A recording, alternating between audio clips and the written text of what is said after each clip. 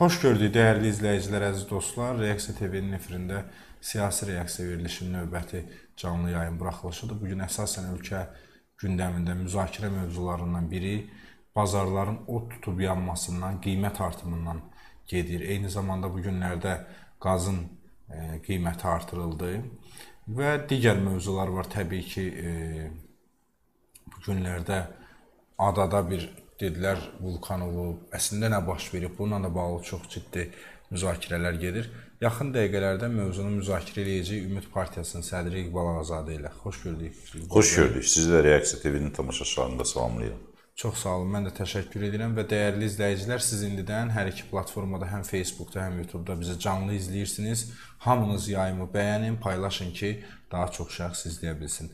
İqbal bəy, gəlin başlayaq qazın qiymətinin artırılmasına. Çünki biz heç ondan sonra sizinlə müsahibəmiz olmayıb, verilişimiz olmayıb. Necə dəyərləndirirsiniz? Hökumət tərəfi deyir ki, üzr istəyirəm, bundan 51% e, bu istifadə etməyəcək. 49%. Əgər hökumət tərəfi iddia edirsə ki, bundan 51% ziyana düşməyəcək və 51%-in həyat şəraitinə ümumiyyətlə təsir etməyəcək, onda sual olunur ki, hökumət indiyə qədər niyə qaldırmırdı bu qazı? Gərək indiyə qədər qaldırmış olaydı və dövlət büdcəsinə ziyan vurmayaydı. Niyə ziyan vururdular onda hə. dövlət büdcəsinə? Bunlar hamısı sadəcə olaraq atılan addımları cəmiyyətə e, sırmaq üçün, cəmiyyətin e, aqressiv yanaşmasının qarşısını almaq üçün deyilən bəhanələrdir. Təbii ki, bir şeyin qiyməti qalxırsa, orada hətta ondan əhali istifadə etməsə belə, yalnız istehsal sahələrində və müəssisələr istifadə etmiş olsa belə, hökmən əhalinin həyat şəraitinə təsir edir. Çünki qiymət qalxımından müəssisələr əziyyət çəkəcəksə, müəssisələr məcburdur istehsal etdiyi məhsulların qiymətini qaldırsın. Məhsulun qiymətini qaldıranda da təbii ki, əhalinin cibinə ciddi surətdə ziyan dəyəcək. Amma məsələ e, başqa bir e, şeydədir.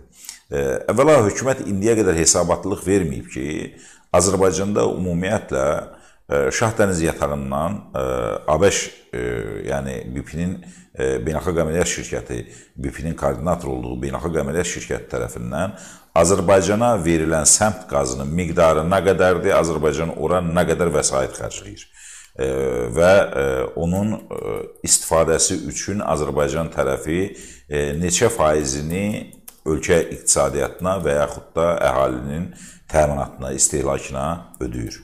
Bizim aldığımız məlumatlar var. Azərbaycanda bilirsiniz ki, illik 10 milyard kubometr qaza yaxın istehlak e, miqdarıdır qazın ümumilikdə. Bunun 4-4.5 milyardı əhalinin payına düşür. Əhali bundan istifadə edir. Bildiyimiz qədərilə Şah dənizdən səmt qazından ə, e, Azərbaycana pulsuz verilən qazın miqdarı 3.5-4 milyarddır.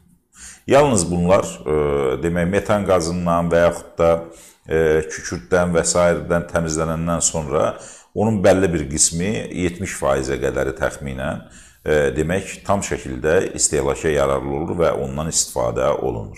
Belə olan təqdirdə niyə Azərbaycanda 1000 kub qazın kubometri 144 e, manata və yaxud da deyilən rəqəmlərə inansaq 164 manata və s. çıxır. Nədən bu şəkildə qiymət qoymaq olur? Niyə məhsulun maya dəyəri haqqında obyektiv məlumat, o cümlədən əhalinin payına düşən hissəsində e, xərclərin miqdarı göstərilmir. Əgər nəzərə alsaq ki, Şahdəniz yatağından Azərbaycana pulsuz verilir bu səmt qazı və Azərbaycan yalnız bunun e, demək aşınma, aşınmasına və daşınmasına, onun hə. təmizlənməsinə və e, daşınmasına xərc çəkirsə, daşınmanın miqdarı e, təxminən ikisi bir yerdə həm e, e, daşınma, həmçinin də istehlaka yararlı hala gətirib qurudulma və metan qazından və digər qazlardan təmizlənməsi təxminən ikisi bir yerdə 24%-ə başa gəlir. 24% bunun üzərinə qiymət gələ bilər yalnız. Bu da təxminən 0 e, onda 3, yəni 3 qəpiyə başa gəlir Azərbaycana. 3 qəpiyə başa gəlirsə, bunun maya dəyəri bu qədərdirsə, niyə qaz bu qədər artıq qiymətə əhaliyə satılır? Niyə bəs bəy? Niyə? niyə? Hökumət e, bunun ciddi fundamental səbəbləri var. Sadə statistik rəqəmlər desəm sizə, e, bu rəqəmlərdən sizə iqtisadiyyatımızın mənzərəsi aydın olacaq. İlk 5 ay ərzində, yəni bu ilin may ayı da daxil olmaqla, ilk 5 ay ərzində ölkənin ixrac potensialının potensialı 8 milyard manata yaxın olub. 8 milyard dollara yaxın olub. 8 milyardlıq ölkədən mal ixrac olunur. Bu ixrac olunan məhsulun yalnız 903 milyonu qeyri-neft sektorunun payına düşür. 8 milyardın yalnız 903 milyonu. Yəni 7 milyarddan bir qədər artıq vəsait karbohidrogen ehtiyatlarının hesabına, yəni neftin, qazın hesabına düşür. Ölkə iqtisadiyyatı keçən illər ərzində şaxələndirilmiş iqtisadiyyat halına gəlməyib. Ölkə iqtisadiyyatı tək sektorlu inkişaf platformasının üzərindədir. Yəni neftin və ya qazın üzərindədir.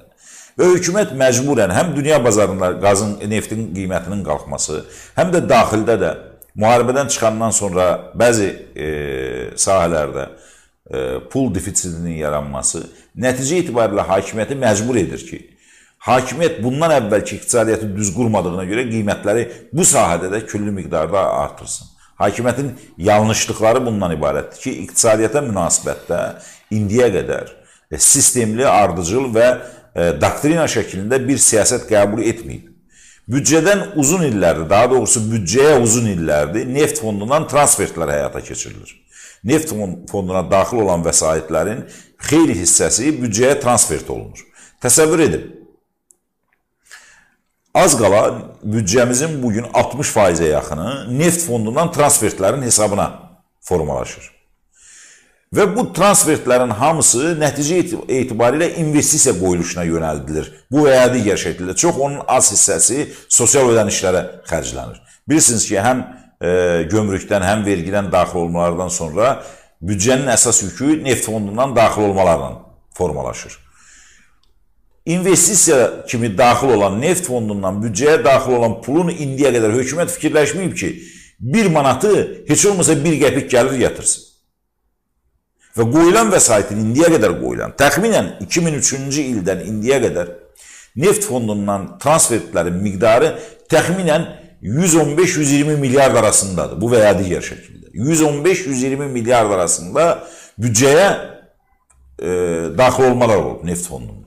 İndi təsəvvür edin, 120 milyard manat səmərəli surətdə xərclənsəydi və onun geri qayıtma, gəlir vermə xüsusiyyətləri düzgün araşdırılsaydı, iqtisadiyyat şaxələndirilmiş formada həyata keçirilmiş olsaydı, bugün Azərbaycan iqtisadiyyatında neftin asıllığın dərəcəsi bu şəkildə olmazdı. Və hökumət bütün bunların hamısını nəticədə nəyin hesabına doldurur? Cərmələr, cərmələri artırır. E, neftin, yanacağın, işığın, qazın qiymətini qaldırır. Və bunun da hesabına ölkə daxilində bütün bazarlar od tutub yanır, bazarların bazarlarda qiymət artımı baş Gəlin bu qaza gələk. Sizcə bu qazı e, niyə qaldırdılar? Sizcə burada səbəb e, müharibədən sonrakı O sual, mən mən o suala niyə qaldırdılar sualına mən cavab verə bilmərəm. Mən yox, müharibədən sonrakı mərhələyə görə olar. Yox, heç bir mən bəyən bəyən müharibədən əvvəl qaz qaldırmamışdılar. Limiti müharibədən əvvəl tətbiq etməmişdilər. Müharibədən əvvəl qazın qiyməti e, qaldırılıb limitlə verilmirdi. Ondakı müharibə yox idi. Yaxşı, bəs nədir? Nəyin? Onu hökumətdən soruşacaqsınız. Mənim dediyim budur ki, hökumətin bu siyasəti çox yanlışdır. OPEC-in verdiyi hesabata görə, postsovet ölkələrinin 5-də qaz ehtiyatına görə Rusiya, Qazaxıstan, Özbəkistan, Türkmənistan və Azərbaycan lideri edir. Lakin bu 5 ölkənin hər birində Qazın qiyməti Azərbaycan qiymətlərindən ucuzdur. Məsələn, Türkmənistanda 1 qəpik, Özbəkistanda 4 qəpik, Qazaxıstanda 10 qəpik, Rusiyada 13 qəpik, Azərbaycanda onların hamısından baha. Az qala toplamı qədər, limiti də üstünə gəlsən, toplamı qədər hamısının az qala qiymət var. Toplamından biraz fərqlidir. İndi sual olunur. Niyə iqtisadiyyat bu vəziyyətə gətirilib çıxarılıb? Niyə idarə etmədə effektivliyi təşkil olunmayıb? Niyə Azərbaycanda investisiya qoyuluşunun düzgün senarisi, düzgün xətti qəbul olunmayıb ki, biz başqa sahələrdən gəlir gətirək? Bayaq dedim, 5 aylıq e, ixrac prosesində Azərbaycan cəmi 903 milyon dollar qeyri-neft məhsulları ixrac edir. Bunun 103 milyonu pambığın hesabına düşür, 83 milyonu təxminən qızılın hesabına düşür, 80 milyonu pomidorun hesabına düşür. Baxırsınızmı hansı vəziyyətdir? Hansı vəziyyət yaranıb ölkədə? Amma halbuki Azərbaycan təkcə əhalisinin 46 faizi kənd təsərrüfatı sektorunda yaşayan ölkə kimi kənd təsərrüfatının məhsulların istehsalı və ixracı sahəsində regionun lider dövlətlərindən birinə çevrilə bilərdi. İstər konservləşdirilmiş məhsullar, istər emal məhsulları, istər konsentrat məhsulları, istərsə də e, meyvə tərəvəz və e, digər məhsullarda, e, təzə meyvə tərəvəz, yaş meyvə tərəvəz məhsullarında liderə çevrilə bilər. Azərbaycan bunların heç birini etməyib. Azərbaycan bütün bunların hamısını, yenə deyirəm, daşa, divara, investisiya, elə investisiya qoyulub ki, o investisiya gəlir gətirən sahəyə çevrilməyib, əksinə 3-5 ildən sonra yenidən amortizasiya xərcləri istəyib. Çox təəssüf ki, ölkə iqtisadiyyatına münasibət bu şəkildədir. Elə eyni dərəcədə də iqtisadiyyat şaxələndirilmədiyinə görə ithal məhsullarında ərzaq məhsullarının e, faizi olduqca yüksəkdir. Hansı məhsullardır? Baxın, 71 faizə qədər ərzaq məhsulları bu və ya digər şəkildə xaricdən gətirilir ya birbaşa ya polofabrikat halında. Yəni yarım hazırlanmış formada gətirilir. Yalnız Azərbaycanda qablaşdırma həyata keçirilir. Çox az investisiya qoyulan ərzaq məhsulları sənaye sahəsi var. Bəzən bizim zavodlar, fabriklər haqqında çox danışılır, amma o fabriklərin, zavodların hamısı əslində nəyə söykənir? Hamısı e, polofabrikat və yaxud da e, xam mal kimi gətirib burada qablaşdırma ilə məşğuldurlar. Bu şəkildə iqtisadiyyat olmur. Azərbaycanın imkanları var. Bütün sferalarda bunun hamısını ölkə daxilində elə. Baxın, ölkə daxilində taxılın e, hətta xaricdən alınması istiqamətində hələ də addımlar atılır. Ölkə taxılının böyük bir qismi e, xaricdən alınır. Təxminən aldığımız məlumata görə 600-700 min ton taxıl istehlak üçün yararlı olan, e, yəni ərzaq buğdası şəklində 600-700 min ton tədarik olunur Azərbaycanda. Digərləri e, texniki buğda statusunda olur. Qalan biz istehlak e, buğdamızın əksəriyyətini xaricdən alırıq. Qazaxıstandan, Rusiyadan, Ukraynadan və digər yerlərdən alırıq. Bütün bunlar hamısı nəyin göstəricisidir? Azərbaycan iqtisadiyyatına doğru düzgün yanaşmamanın və Azərbaycan iqtisadiyyatının şaxələndirilməsini həyata keçirilməməyin, şaxələndirilmiş iqtisadiyyat yaradılmalı idi. Neftdən gələn gəlirlər, neftdən daxil olan vəsaitlər elə səmərəli şəkildə istifadə olunmalı idi ki, digər sahələrə qoyulan investisiyalar həm ölkə daxilində vətəndaşların işlə təmin olunması, həm daxili bazarın təmin olunması, həm də ixrac potensialının artırılması üçün dünya bazarına çıxış mümkün idi. İqbal bəy, indi bu e, oldu da. Bax bu indiki mərhələdən sonra Məsəl üçün bu tarif şurasını mən hələ endir, əslində bunlar qiymətlərin endirməsi ilə də məşğul olmalıdırlar. Hələ bunların hansı qiymətə endirdiyini müşahidə etməmişəm, ancaq qaldırmaqla məşğuldurlar. Endirmə mümkündürmü, yoxsa artıq iqtisadiyyat elə vəziyyətdədir Əlbət, ki, əlbəttə endirmək mümkündür. Əvvəla iqtisadiyyatın rentabelliyini təşkil etmək üçün doğru dürüst analiz etmək lazımdır. Azərbaycan stati verilən statistika Azərbaycandakı statistikanın böyük əksəriyyəti yalançı statistikadır və rəqəmlər doğru deyil. Azərbaycanda birinci statistikadan başlanılmalıdır. Bəli. Əhalinin sayından tutmuş, ta istehlak miqdarına qədər, hər bir məhsulun istehlak miqdarına qədər və istehsal miqdarına qədər, ölkə daxilində nə qədər istehsal olunur. Azərbaycanda bütün bunların hamısı süni şəkildə şişirdilir. Yenə deyirəm, mən dəfələrlə də qeyd etmişəm, bir daha istəyirəm qeyd edeyim. Təsəvvür edin ki, Mərkəzi Seçki Komissiyası deyir ki, Azərbaycanda 5 milyon 550 min seçici var. Sosial Təminat Nazirliyi və Dövlət Statistika Komitəsi deyir ki, Azərbaycanda 18 yaşına çatmış insanların sayı 2 milyon 892 min nəfərdir. 5 milyon 550 mindən 2 milyon 892 mini üst-üstə gələndə 10 milyon 100 min eləmir. 2 milyona yaxın əhali yoxdur faktik olaraq. Hardadır? Bunlar barədə məlumat, statistika düz deyil. Və bütün rəqəmlərin hamısı əhalinin sayı üzrə statistikanın hesabına formalaşdırılır və onun da hamısı yalan olur. Nəticədə nə, nə baş verir? Yalan statistikanın üzündə rəqəmlər qururlar. O e, ətin e, nə qədər Azərbaycanda istehsal olunduğu, kartofun istehsal olunduğu, istehlakı, çörəyin istehsal olunduğu və istehlakı, bütün bunlar hamısı yalançı rəqəmlər üzərində e, qurulur və ona görə əvvəlcə bundan başlamalıdır. Və sonra məhsulun maya dəyərinin, sabit maya dəyərinin çıxarılması və dəqiq analizi o cümlədən israfçılığa və e, demək e, e, əlavə izafi xərclərə yol verməməyin yolları aradıl aradılmalıdır. Bilməlidir ki, biz 1 kilovat elektrik enerjisini neçəyə istehsal edirik? Biz 1 kub metr qazı neçəyə istehsal edirik və yaxud 1000 kub qazı neçəyə istehsal edirik? 1 litr suyu maya dəyəri nə qədərdir?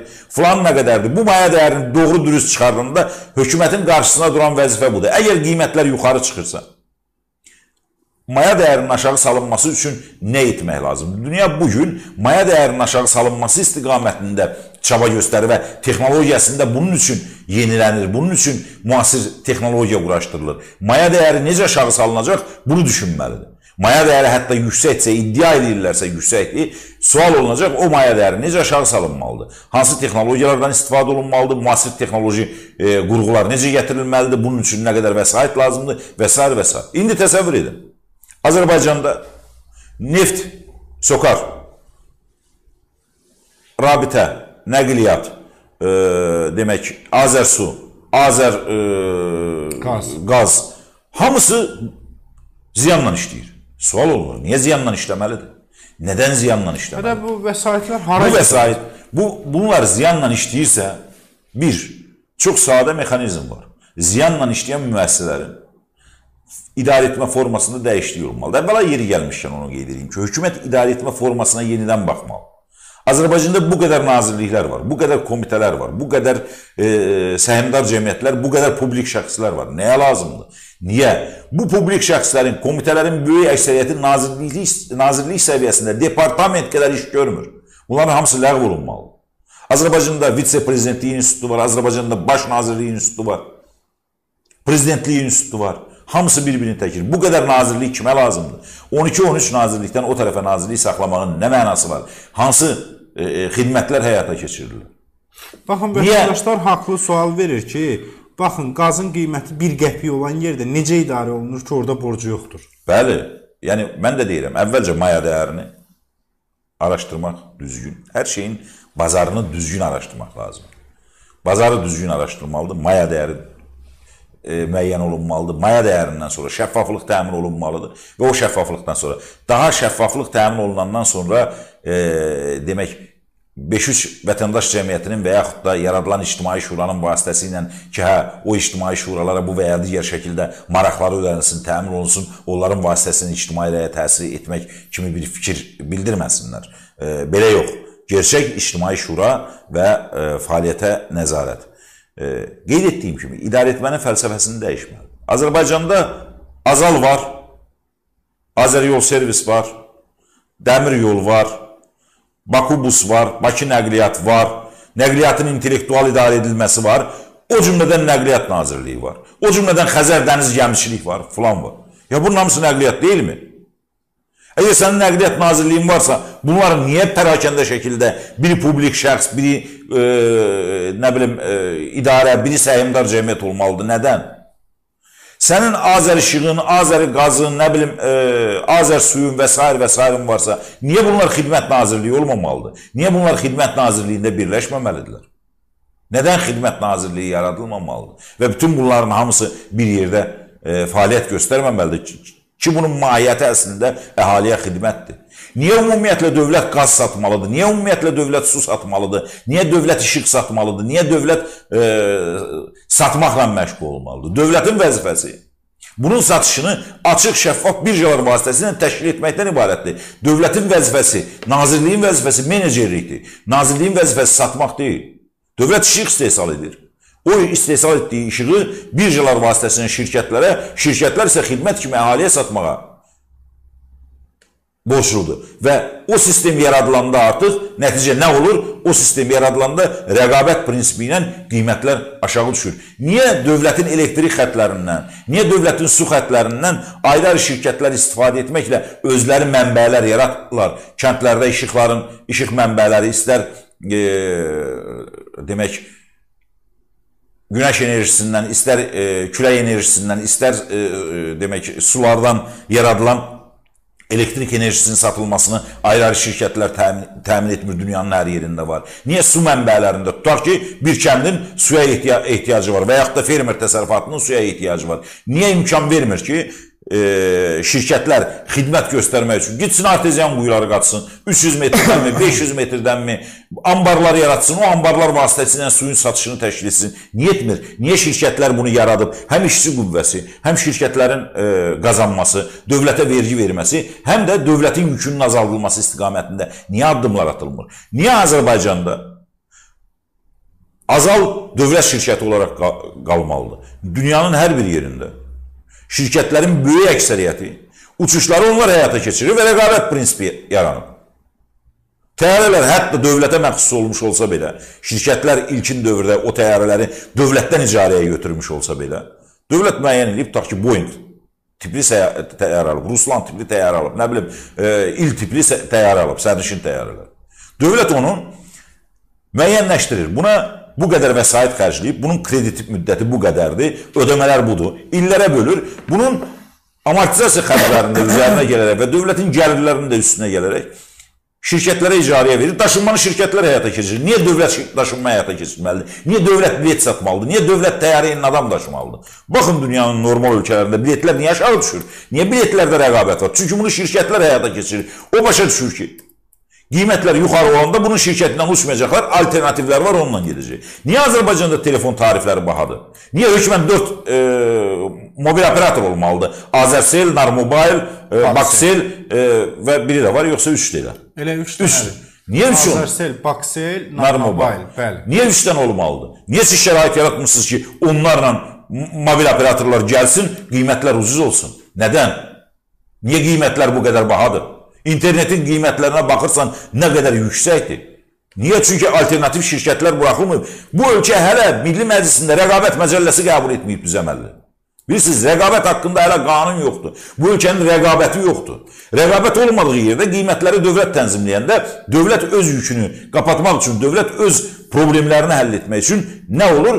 Dövlət e, yıxır onu vətəndaşın boynuna. Biz də deyirik ki, bunu şirkətlərin boynuna yıxacaqsan, verəcəksən, açacaqsan azalı. Niyə Azərbaycandan Türkiyəyə 700-ə, e, Gürcüstandan 70 manata uçmalıdırlar? Nədən?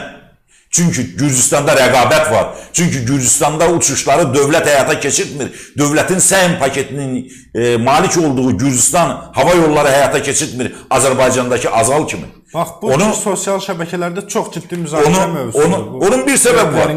Dövlət, dövlət özəl şirkətləri buraxmalı düşüşə. Təyyarələri arendaya götürməlidirlər, icarəyə götürməlidirlər. Dövlət alma alıbsa, dövlətin özləri götürə bilərlər ayrı-ayrı şirkətlərdən uçuşları, ayrı-ayrı ölkələrə uçuşları şirkətlər tə təşkil edir. Sən, Baxın, bir, bir İstanbula, bir İstanbula çox qısaca mən e, xərclərini deyir. Ağdamda atəşkəs pozulub, ona görə buyurun yekunlaşdırın. Buyurun, buyurun, ha, bu daha vacibdir, siz deyin. Deməli, e, mən məlumatı paylaşmaq istəyirəm dəyərli izləyicilər. Bu bu dəqiqələrdə yayılıb bu məlumat. E, Ağdamda Ağdam istiqamətində bölmələrimiz atəşə tutulub, hərbiçimiz yaralıdır. İyulun 6-sında 17:50 radələrində Rusiya sülh məramlarının müvəqqəti yerləşdirdiyi yerləşdirildiyi Azərbaycan ərazisindəki qanunsuz erməni silahlı dəstələri tərəfindən Azərbaycan ordusunun Ağdam rayonunun Əli Ağalı kəndi istiqamətində yerləşən bölmələri atəşə tutulub. Deməli, bu barədə Müdafiə Nazirliyi məlumat yayıb bildirilir ki, atəşkəs nəticəsində yol təkmilləşdirmə işlərinə cəlb olunan hərbi qulluqçumuz qulluqçumuz baş gizir Dadaşov Sakit Əhlimanoğlu yaralanıb, yaralıya ilkin tibbi yardım göstərilib və o hərbi hospitala təxliyə olunub. Baş vermiş insidentin araşdırılması üçün Rusiya sülh məramlı qüvvələrinin komandanlığına və Türkiyə-Rusiya birgə monitorinq mərkəzinə məlumat verilib. Dəyərli izləyicilər, yayımı bəyənin, hər kəs paylaşın. Yaxın dəqiqələrdə başqa hansı məlumat olacaqsa, mən sizinlə paylaşacağam. Sizdən isə yayımı bəyənmək qalır. Buyurun. Mən Qazi Mirzallahdan şəfa diləyirəm e, və əsgərlərimizə e, sərhəddə E, düşmənlə üz-üzə olan əskərlərimizə cəsarət, mətanət, dözüm, səbr arzulayıram və millətimizə də ayaqda olmağı arzulayıram ki, düşməni və qonşusu erməni olan hər bir dönəmdə təxribatlara, hücumlara, ə, e, atəşkəsin pozulmasına və s. hazır olmalıdır. Biz də millət kimi hazır olmalıyıq. Biz bunu bilirik. E, xüsusilə e, Dağlıq Qarabağın işğaldan azad olunmamış ərazilərində və Rusiyanın da Ermənistandakı seçkilərin nəticələrindən sonra prosesi Dağlıq Qarabağa köçürmək istiqamətində addımlar olacaq. Bunu əvvəlcədən demişdim. Paşinyanın e, seçilməyindən sonra elə ilk gün Arayik Harutyunyanın e, istifası ilə güya bağlı e, Xankəndində keçirilən etiraz mitinqi buna bir işarə idi. O etiraz mitinqi ona görə keçirilirdi ki, onlar əvvəla buranın müstəqil subyekt olduğunu, prezident olduğunu, prezidentin istifaya çağırdıqlarını və o cümlədən də e, Rusiyanın da bu məsələlərdə Ermənistandan e, fərqli, Ermənistandan ayrı Dağlıq Qarabağ siyasəti olduğunu nümayiş etdirsinlər. Bu başqa bir mövzudur. Bunu bir gün inşallah danışarıq, amma yenə deyirəm bir daha əskərimizə Allahdan şəfa diləyirəm. Amin. Deməli dəyərli izləyicilər, siz yayımı bəyənin, paylaşın. Biz e, mütəmadi olaraq sizə də məlumat verim ki, e, Telegramda Reaksiya TV yazın. Bizim Telegram kanalımız var və orada bu kimi məlumatlar ola bilər. Efir gedir, mən gecikirəm biraz o məlumatları oxumağa, amma həmin o kanalda hər dəqiqə 24 saat yenilənmə gedir. Səhih rəsmi məlumatlar orada paylaşılır. E, Telegram kanalımızda təbii ki. Verilişimizi də bəyənin, paylaşın. Yaxın dəqiqələrdə hansı məlumat olacaqsa mən sizinlə onu bölüşəcəyəm, paylaşacağam. Belə İqbal bəy, deməli e, qiymətlərə davam eləyirik ki, Azalın qiymətlərindən danışırdıq. Rəqabət olmadığına görə özəl şirkətlər daşınma ilə məşğul olmadığına görə, dövlət bu hissəni qapatdığına görə və xüsusi monopoliyada saxladığına görə, xüsusilə e, başqa şirkətlərin olmadığı bir yerdə qiyməti özü müəyyən edir və oradan küllü miqdarda qazanır. Heç kimə sir deyil bir təyyarənin, e, normal bir təyyarənin uçuşu üçün, məsələn İstanbul-Bakı reysinin uçuşu üçün dövlətin maksimum xərclədiyi 35-40 min dollar vəsaitdir. Yəni bir İstanbul uçuşunun amortizasiya xərcləri və yanacaq xərcləri e, və ekipajın, o cümlədən e, texniki heyətin, bütün xidmət növlərinin hamısının üstünə gələn 35-40 min dollardan artıq Bir uçuşun. Bir uçuşun. Bəli. İndi siz qiymətləri də hesablayın.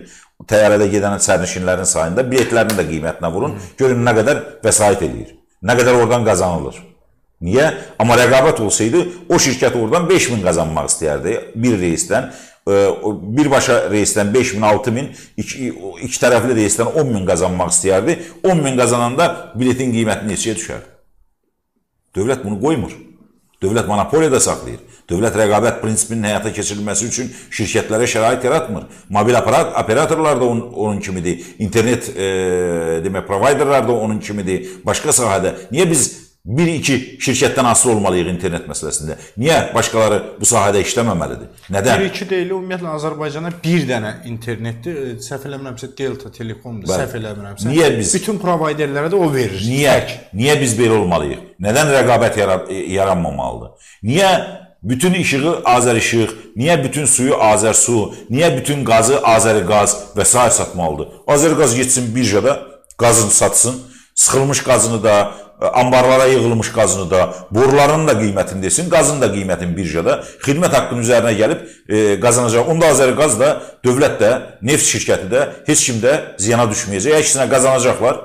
Şirkətlər də rəqabət prinsipi əsasında aldıqları qazı əhaliyə satmağa kifayət qədər məkan axtaracaqlar. Amma birjaya artıq çıxanda hər şey bəlli olur axı. Qiymətlər də bəlli olur. Hansı qiymətə maya dəyəri başa gəlir, xeyir nə qədərdir, şəffaflıq artır. O şəffaflığın olmaması naminə e, rəqabət prinsipinin həyata keçirilməsi və başqa şirkətlərin ora qoşulmasının əleyhinə olurlar. Ona görə vəziyyət bu yerə gəlir çıxır. Ona görə hesab edirəm ki, dövlət birinci növbədə rəqabət prinsipinin formalaşması, rəqabət məcəlləsinin qəbul olunması və bu sahələrin hamısının özəl sektora açılmasını təmin etməlidir. Dövlətin vəzifəsi budur. Çox təəssüf ki, hakimiyyət bu vəzifəni yerinə yetirə bilmir və yaxud da hakimiyyət bu vəzifəni yerinə yetirməkdə maraqlı deyil, çünki oradan özünə məxsus və yaxud da özlərinə yaxın şirkətlər qazanır.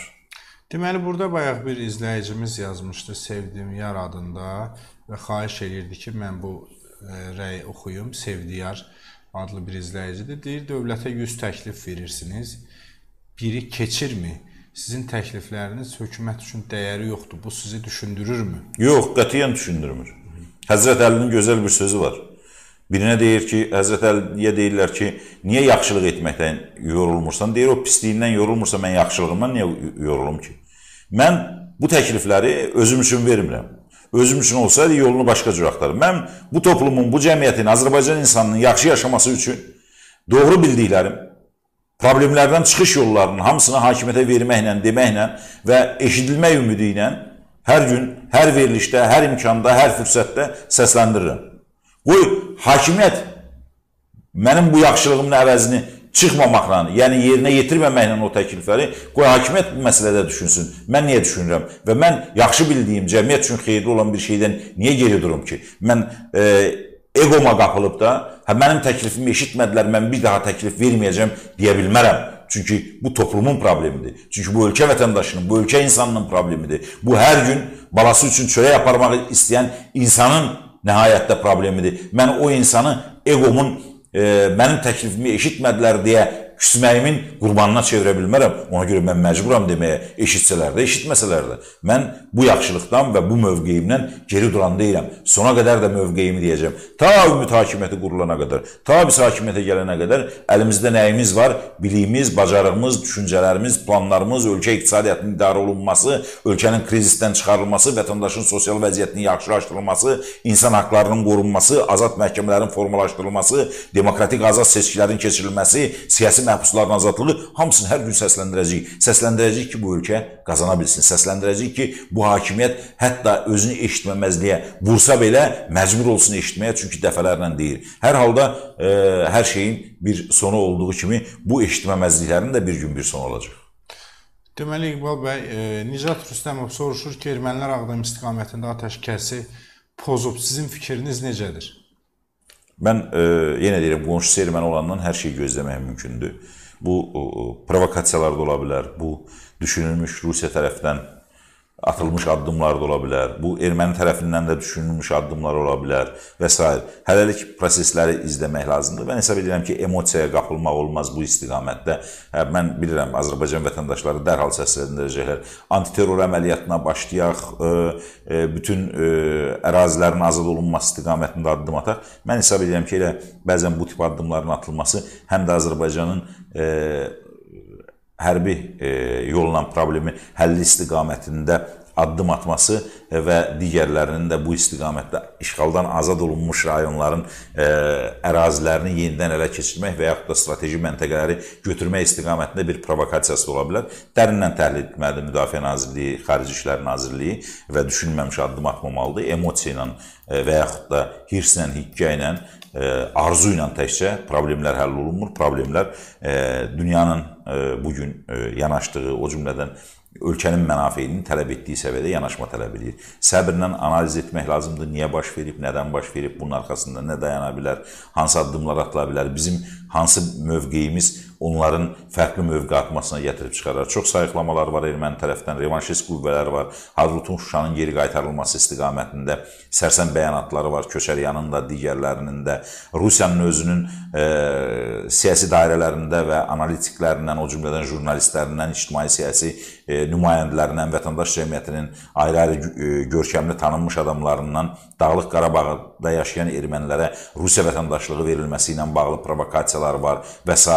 Ermənistanın içərisində, o cümlədən Dağlıq Qarabağın içərisində yəqin ki, diqqət etmişsiniz, çox saylı Rusiya kanalları müsahibə götürür. Bizim üçün ən yaxşı variant Rusiya vətəndaşlığı və Rusiya pasportu daşımaqdır və s. kimi mövqelər qoyulur. Bütün bunlar hamısı hazırlanmış vəziyyət ola bilər. Azərbaycan bütün bunların hamısına təbii ki, analiz edib ciddi şəkildə nəticəyə gəlib ondan sonra addım atmalıdır. Tələsmək olmaz. E, mən istəyirəm izləyicilərimizə bildirim ki, bizi 2000-ə yaxın insan izləyir. Hamınız aktiv olun. Ən vacib məsələ budur ki, yayımı bəyənəsiniz. Yayımı bəyənmə lazımdır. Eyni zamanda burada canlı chat bölməsində 30 dəqiqə əvvəl başlatmışıq bu sorğunu. İqbal Ağazadənin fikirləri ilə razısınızmı? Mən sonunda faiz dərəcələrini elan edəcəm. Hələ ki 429 nəfər iştirak edib bu səsvermədə.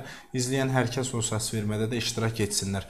Xəzərdəki partlayışla bağlı palçıq vulkanıdırmı? Mən bu sahə üzrə mütəxəssis deyiləm. Yox, bilirəm, siz partiya seysmoloq da deyiləm. Milli Elmlər Akademiyasında da bu sahədə var. Məsəl üçün Türkiyə mətbuatı bunun Rusiyanın etdiyini yazır. Mən bütün informasiyaların hamısını partiya olaraq təhlil edirəm.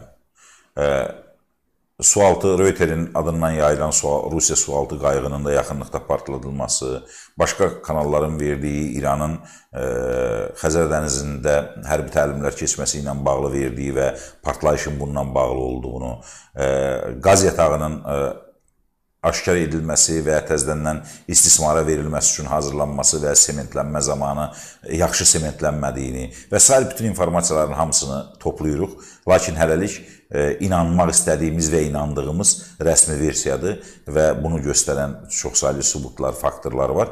Hələlik bunun üzərində dayanmışıq. Əgər gələcəkdə bu istiqamətdə başqa bir addım olmazsa, versiyanın doğru olduğuna inanacağıq. Yox, hadisələr fərqli şəkildə cərəyan edəcəksə, bu variantlardan birinə də qayıtmaq və onun üzərində də artıq fokuslanıb o e, pəncərədən də təhlil etmək mümkündür. Amma hələlik rəsmi versiyanı qəbul edirəm. Bu gün də Kamçatkada An-26 təyyarəsi qəza radarlardan itib əvvəlcə, sonra təyyarə qəzaya uğrayıb. Bununla bağlı prezident İlham Əliyev Rusiyalı həmkarı Vladimir Putin Protokoldur. qəzası ilə bağlı da başsağlığı verib.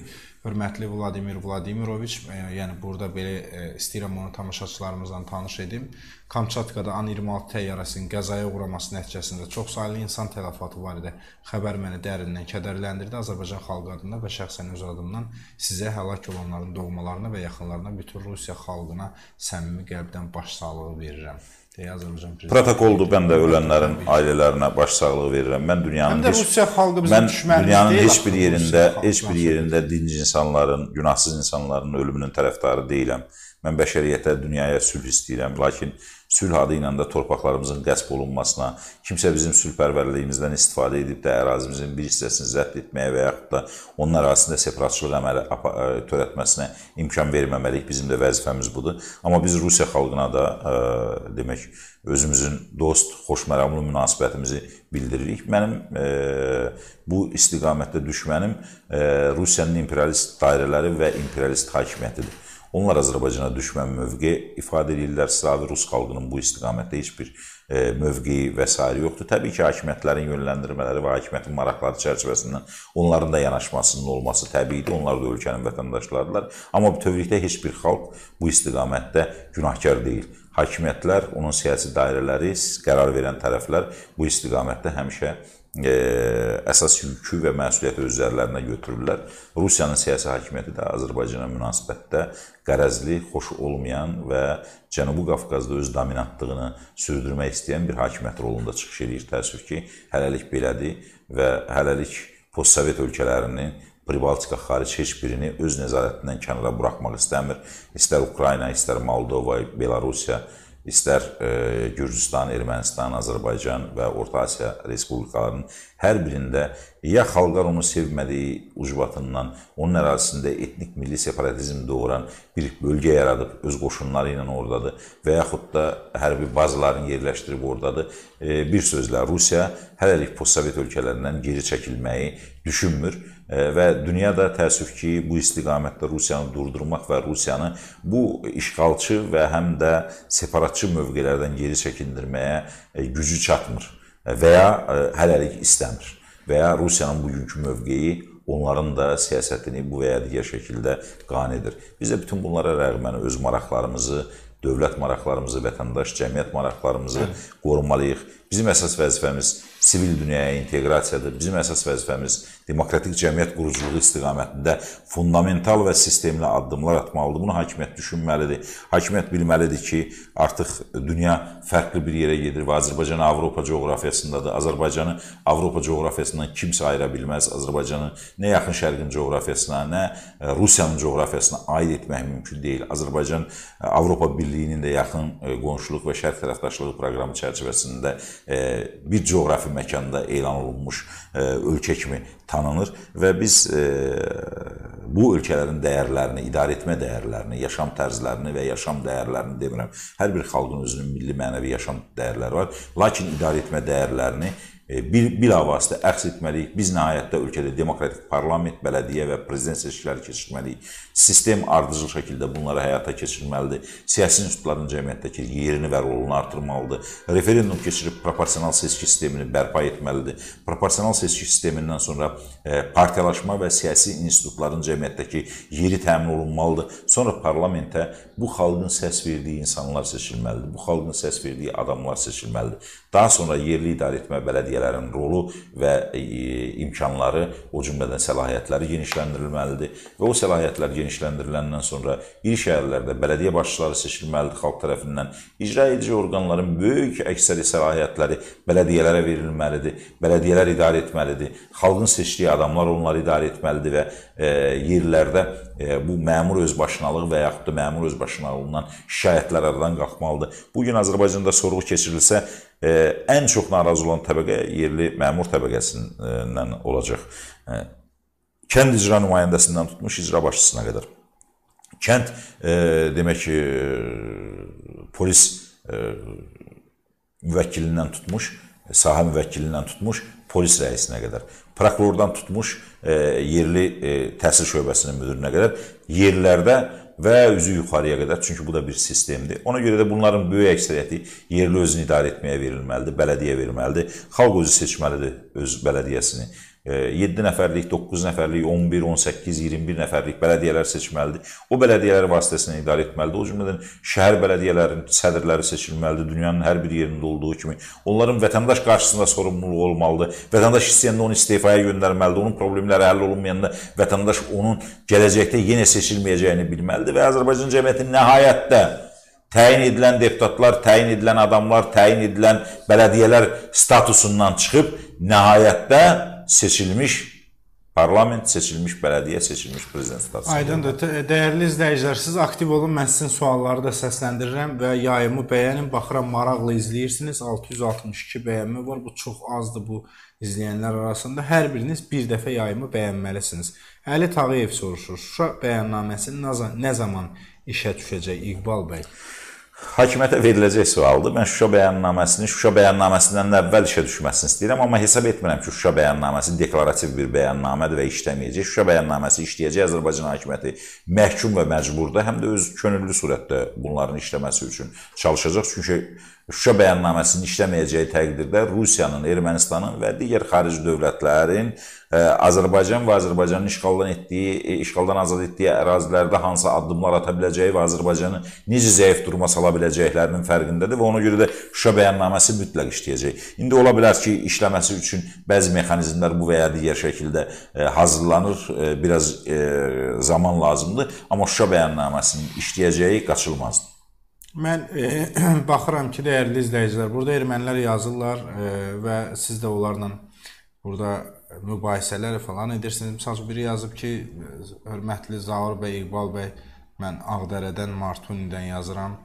Asan xidmət nə vaxt olacaq? Azərbaycan vətəndaşı olmaq istəyirəm. Azərbaycan vətəndaşı olmaq üçün elə ordakıların hamısı ilə birgə ayağa qalxmalısınız və etiraz eləməyi bacarmalısınız, əgər doğrudan da siz ordasınızsa və başqa ermənilər burada yazırlar, təhqiramiz fikirlər. Onlar indi yəqin ki, e, ignor ediləcək, amma siz onlara fikir verməyin, dəyərli izləyicilər. Mən sizə tövsiyə edərəm. Mən sizə tövsiyə edərəm. Sizin adminə də e, və sizə də ki, toxunmayın onların söyüşünə.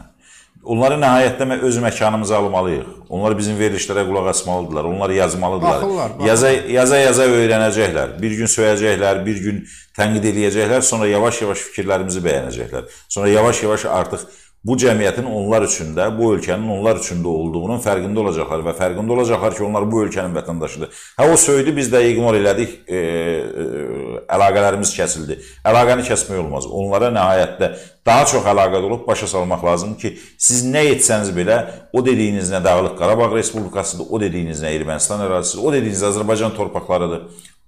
Xocavənd də Azərbaycan torpağıdır. Ağdərədə, Xankəndidə, Əskəranda, Xocalıda, necə ki Şuşa, necə ki Hadrut, necə ki başqa ə, e, ərazilər, işğaldan azad olunmuş ərazilər Azərbaycan torpağı olduğunu Azərbaycan ordusu, Azərbaycan xalqı e, sizlərə isbat etdi. Onu da bir gün isbat edəcək. Amma biz istəmirik qanlı döyüşlər hesabına. Biz istəmirik ki, itkiləriniz hesabına baş versin bunlar. Hə biz də insan itiririk. Biz də amma biz haqq işi uğrunda e, e, itiririk. Siz başqasının torpağı uğrunda və bir gün peşman olacaqsınız ondan. Və bəla sizə yaxınlaşdıqca siz hiss edəcəksiniz ki, Ermənistanda yaşamaq da sizin üçün çətinləşir. Bir çevrənizə baxın. Ay ermənilər, bir çevrənizə baxın. Naxçıvan bir tərəfdən sərhəddir, 257 kilometr təxminən sizdən sərhədi var. Düşmənsiniz. Azərbaycanla təbii ki, Naxçıvanı ayırmıram, amma bununla belə əlahiddə qaydada olduğuna görə, arada İran Zəngəzuru vaxtı ilə aldığınıza görə, bizim əlimizdən alıb sizə verdiklərinə görə e, biz kimsəni də e, günahlandırmaq niyyətim yoxdur, amma tarix belə gətirib. Sizin İranla sərhəd dediyiniz ərazinin o bir tərəfinə baxın, hamısı Azərbaycanlılar. Siz düşünürsünüz ki, güneydə yaşayan Azərbaycanlılar e, heç bir zaman dövlət halına gəlməyəcək. Gələcək onlar da bir gün haqlarını alacaq. Dövlət olaraq Güneylilər də bir gün öz haqlarına qovuşacaqlar. Gürcüstanla düşmənsiniz. Azərbaycanla düşmənsiniz. Bu qədər düşmənin içərisində yaşamaq sizə nə verəcək? Perspektiviniz nədir? Hara qədər davam edə biləcəksiniz? Nə qədər qonşularınızla düşmən olmağı düşünürsünüz? Türkiyə ilə düşmənsiniz. Hələ də qondarma bir soyqırım iddiasına və eşqinə düşüb 1915-ci ildən bu yana düşmənçilik irəli sürürsünüz. E, necə? Hansı vasitələrlə? Nə qazanacaqsınız? Qazanacağınız nədir? Ona görə mən hesab edirəm bağlamaq lazım deyil. Təhqirin bir hissəsi də bizə düşür, eybi yox. Amma qoy bizim auditoriyada olsunlar, qoy bizim məkanda olsunlar, qoy bizim verilişlərin altından yazsınlar, qoy bizim siyasətçiləri dinləsinlər, bizim adamları dinləsinlər, dinləsinlər ki, həqiqətin nə olduğunu daha tez anlasınlar. Aydındır. Deməli, e, bir izləyicimiz sizə sual verir. Yenə həmin Əli Tağıyevdir. Maraqlı suallar verir. Mən ona təşəkkür edirəm. Siz də suallarınızı yazın dəyərli izləyicilər və təbii ki, bəyənin, paylaşın. İqbal bəy, Bakı metropoliteni niyə 512 milyonla milyon ziyanla işləyir? Bakı metropoliteni qapalı səhmdar cəmiyyəti ləğv olunmalıdırmı sizcə? Mən hesab etmirəm ki, Bakı metropoliteni ləğv olunmalıdır. Metro ən yaxşı daşıma vasitələrindən biridir. Düzdür, bizdə metro haqqında bir təsəvvür var ki, metro yalnız yeraltı metro ola bilər.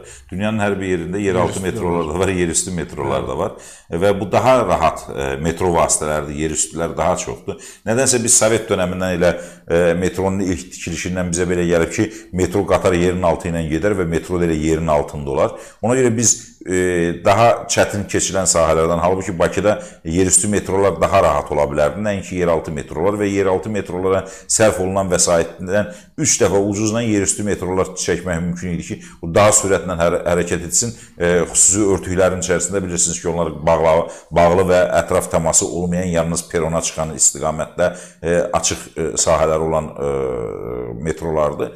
Çox təəssüf ki, bunu etmirlər, amma mən metronun ləğv olunmasını yox, metronun rentabelli işləməsinin təmin edə biləcək e, bir iqtisadi siyasətin, menecerliyin ortada olmasının tərəfdarıyam. Metronu niyə ləğv edirik? Qapalı səhmdar cəmiyyəti niyə ləğv edirik? Nədən e, ləğv olunmalıdır? Daşınmanın effektiv variantlarını tapmalıdır. Logistiklər işləməlidir. Bu sahədə beynəlxalq təcrübəsi olan, beynəlxalq e, aləmdə e, kifayət qədər ciddi e, elm təhsil almış insanlar gəlməlidir və bunun səmərəliliyini təşkil etmək barədə e, ciddi bir proqram ortada qoymalıdır. Biz uşaq çirkli suyu uşaqla bir yerdə, vanna ilə bir yerdə çölə atmağı tərk etməliyik. Metro da yerində qalmalıdır və mən təklif edirəm Azərbaycan hökumətinə ki, Azərbaycanın relyefini, Azərbaycanın e, torpaq quruluşunu nəzərə alaraq metroları yerin altından çıxardın yerin üstünə yavaş-yavaş. Mən demirəm ki, köhnələri doldurun, yox. O köhnələr yerində qalsın, amma açılan yeni stansiyalar artıq yer üstünə çıxarın. Burada qorxulu da bir şey yoxdur və metronun da mahiyyət etmir bundan.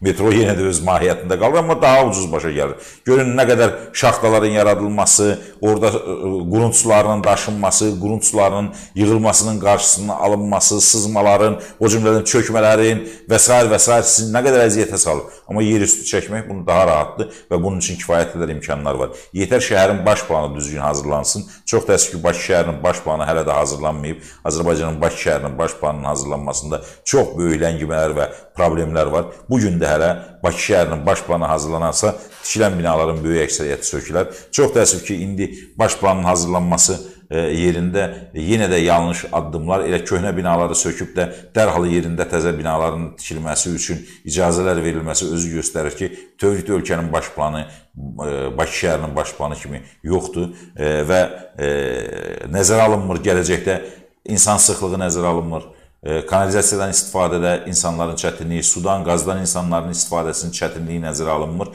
və yenə də əvvəlki köhnə proyektlərlə iç-içə binalar tikilir. Yeri gəlmişkən buradan bir daha qeyd eləmək istəyirəm. Gəncə prospektində 5 binanın sakinləri mənə də müraciət etmişdilər. Mən orada da oldum. Kooperativ binaya məxsus olan Sultan Y şirkəti adlı bir şirkət Kooperativ binanın ərazisini güya icra hakimiyyətindən icarəyə götürüb, yeri gəlmişkən xatırladım ki, bina kooperativ olduğuna görə o binanın həmin ərazisi kooperativ binaya məxsus olmalı, o, o məxsusdur və onlar o Bakı şəhər icra hakimiyyətindən və yaxud da digər strukturlardan heç bir halda həmin ərazini icarəyə götürə bilməzlər. Bakı şəhər icra hakimiyyəti güya həmin ərazini onlara icarəyə verib. İcarəyə verilmiş ərazidə bina tikməsi üçün şəhər salma və digər strukturlardan layihələr keçirdiblər, icazə alıblar. Xatırladıram ki, şəhər salma haqqında qanunda və o cümlədən binaların tikilişi haqqında qanunda da bir mənalı göstərir ki, icarə əsasında göstərilən torpaqda yaşayış məskənlərinin tikilməsi və s. qadağandır. Yalnız özəl torpaqda tikilə bilər. İcarə əsasında götürülmüş torpaqda da tikmək icazəsi yoxdur. O icazəni kimlər verib bilmirəm. Hələ də indiyə qədər bəzi materialların töküblər ola. Biz onu əhalinin vasitəsilə icra hakimiyyəti mən prezident aparatına müraciət etdim. Prezident aparatının müdaxiləsi ilə tikinti dayandırılıb araşdırma aparılır, lakin gəlib oradan materiallarını götürmürlər. O ərazi kooperativ binanın ərazisidir. O kooperativ bina ə, e, Hətta e, dəfələrlə mən 15 il oranın deputat olanda icra strukturlarına müraciət etdirdim ki, kooperativ binanın falan prospektdə olan kooperativ binanın falan problemi var. Deyirdi bizim balansımızda deyil, onlar kooperativdir. Necə ola bilər problemi həll etmək lazım olanda sizin balansınızda olmur? Amma onun balansında olan torpağı icarəyə verib orada bina tikməyə icazə verir. Sanki o bina sürüşmə zonasıdır bütövlükdə. Mən həmin ərazidə Fövqəladə Hallar Nazirliyinə, Fövqəladə Hallar Nazirliyinin e, institutu ilə bir yerdə uzun müddət svaylar vurdurmuşuq orada. İki binanın çökməsinin və sürüşməsinin qarşısını almışıq. Yuxarıdan e, su sızmalarının qarşısını almışıq. Orada kifayət qədər qurunt suları da var. O qurunt e, suları binaların e, demək e, zirzəmilərinə toplanır. Necə ola bilər ki, ona kim icazə verir bu həmin gədiyyəzi etməmiş 60 sot torpaq sahəsini yalandan ölçüb 1 hektar 35 sot yazıblar ki, bina tikintisi üçün icazə verilməyə əsas olsun. Yəni kökündən yanlışdır. Bunu bir daha qeyd edirəm ona görə ki, yeni tikilən binalarda da çox təəssüf ki, bunların heç birini nəzərə almırlar. Yenə də köhnə qaydada elə sadəcə e, e, pul keçsin və o pulun müqabilində də bina tikintisinə icazə verilsin. Hörmətli e, səlahiyyətli dövlət qurumları, Bakı şəhərinin baş planı hazırlanmayana qədər, Bakı şəhərinin baş planı düzgün tərtib olunmayana qədər etdiyiniz hər bir addım gələcək üçün böyük faciə yaradacaq. Bir gün görəcəksiniz ki, çəkdiyiniz yollar da,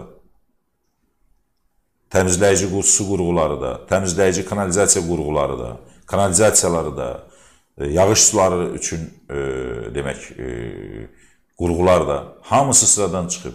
Çünki əgər əvvəllər bir 5 mərtəbəli bina üçün nəzərdə tutulursa, həmin kanalizasiya sistemi, su sistemi, qaz sistemi gətirib onun yerində 17 mərtəbəli, 20 mərtəbəli binalar tikirsiniz. Nəzərə almırsınız ki, əhalinin sayı nə qədər artır hansı formada çoxalma baş verir və o kollektorlar və yaxud da o su boruları, o kanalizasiya xətləri həmin insanların ümumi yükünü götürə biləcəkmi? Nə qədər kubometr su götürəcək? Kanalizasiya nə qədər kubometr çirkab suları yığacaq? Yağış suları nə qədər olacaq? Qaz turbaları hansı formada gələcək? Təsəvvür edin, siz tikdiksən hökumət məcbur olmalıdır alternativ olaraq e, suyun da, qazın da, işığın da, hətta e, kanalizasiyanın da borularını təzədən dəyişsin, çünki yük götürmə qabiliyyəti yetərli olmayacaq. Bunları nəzərə alın, xahiş edirik. Deməli, dəyərli izləyicilər, e, mən əvvəldə dediyim kimi biz burada səs vermə başlatmışıq və Mən sonuncu sualımı səsləndirirəm. Bu sualdan sonra artıq səs vermə də bitəcək. Burada rəy bölümündə yuxarıda görürsüz. İqbal Ağazadənin fikirləri ilə razısınızmı? Bəli, yaxud xeyr cavabını verə bilərsiniz. İqbal bəy, bir izləyicimiz durmadan israrla bayaqdan bu sualı göndərir ki, Ukrayna-Rusiya müharibəsi baş verə bilərmi gələcəkdə? Ukrayna-Rusiya müharibəsi gələcəkdə baş verə bilərmi? Hər şey ola bilər. Lakin yaxın zamanlarda bu müharibə olmayacaq. Çünki e, hələlik dünya Rusiyanı durdurmağın optimal yollarını tapmayıb və bu istiqamətdə də Rusiyanın mövqedən geri çəkilmə kimi bir perspektivinin olmadığını bilir və Ukrayna da bunu çox yaxşı başa düşdüyünə görə ən az 2023-cü ilə qədər bu istiqamətdə böyük müharibə gözlənilmir. Kiçik xırda toqquşmalar ola bilər, məsələn bu ilin ortala e, yaz aylarında olan toqquşmalar kimi, amma böyük müharibə və yaxud da işğal və yaxud da işğaldan azad edilmə faktorlarını hələ gözləmir. Çox sağ olun İqbal. Təşəkkür, Təşəkkür edirəm, edirəm gəldiyiniz üçün və maraqlı e, şərhləriniz üçün. Belə dəyərli izləyicilər, daha bir canlı yayın buraxılışının sonuna gəldik. Mən sonda qeyd etmək istəyirəm ki, bu veriliş başlayandan bir neçə dəqiqə sonra 50 dəqiqə bundan öncə biz bu sorğunu başlatdıq. Hal-hazırda sorğuda 691 nəfər iştirak eləyib. İqbal Ağazadənin fikirləri razısınızmı? Bəli deyənlər 80%, xeyr deyənlər 20% təşkil elədi. Sağ olsun 20% də 80%. Belə çox sağ olun. Sağ olun. Növbəti verilişimiz bitdi dəyərli izləyicilər. Gələn görüşlərə qədər növbəti e, verilişlərimizə qədər sabah yəqin ki efirlərimiz olacaq, davam eləyəcək yenə. Gəlin nə olur olsun, hər şey Azərbaycan üçün, hər şey vətən üçün deyək. Gecəniz xeyir qalsın.